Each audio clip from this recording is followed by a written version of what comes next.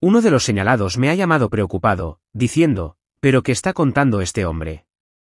Diputados socialistas formaban conciliábulos improvisados con colegas o periodistas en los pasillos del Congreso. En el escaño consultaban las noticias que llegaban desde la audiencia en el móvil y en los huequitos del pleno salían a comentarlo. Los del PP se relamían y no ocultaban su alborozo con cada nueva notificación. A cada rato un titular y un protagonista nuevo, esto es solo echar basura por echar y esto duele, porque mancha tu nombre, lamentaba otro de los citados por Víctor de Aldama.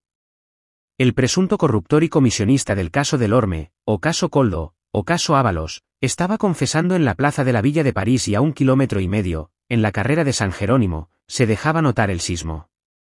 Un temblor que a tenor de lo que se decía en los corrillos apenas debería menear al gobierno o al PSOE, que investiguen, no van a encontrar nada, este hombre puede decir lo que quiera y mentir porque es un imputado y no está aportando prueba alguna, todo es fruto de la estrategia de un hombre que quiere salir de la cárcel, decían distintas fuentes socialistas. El cabreo en Ferraz y aledaños era evidente, y terminaron avisando de que actuarán contra Aldama en los tribunales y contra todo aquel que se dedique a ventear sus acusaciones.